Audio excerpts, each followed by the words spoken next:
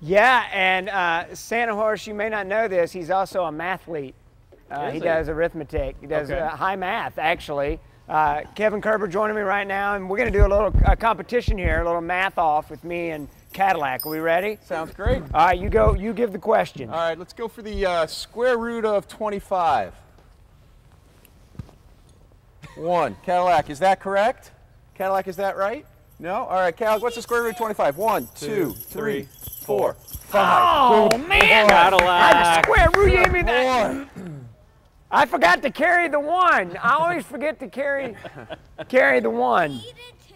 Yeah, I did. T- I know. I I got it wrong. I'm He's getting called out by the pretty reindeer. smart. Yeah, he is.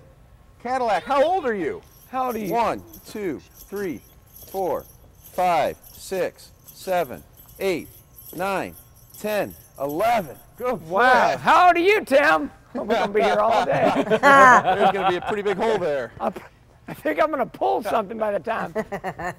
Yeah, we'll just we'll just round up. How about that? Count by ten. You did too. This is an awesome place here. Uh, you're you're looking to give experiences to people. Have Yeah. them, you invite people to book an event to come out with their friends Book and events, family. we, we do parent me sessions on our website, so it's really just about signing up and experiencing the horses, or petting zoo animals, and doing pony rides. So we do give formal lessons, normal, you know, you know, stable business, but we've gotten a habit of doing nice, organized events where groups come out and just kind of have fun with the animals for a couple hours. Love it. We're going to show you some more of the friends coming up at 7. They've got some others here. We'll introduce you to them right here on Fox 2 News in the morning. I'm going to do more math Dad. Hey, with my Tim. friend Cadillac. Tim, I, you I still ready? got to finish my A. Yeah. Tim, two plus Yeah. two. Two Yeah. plus two.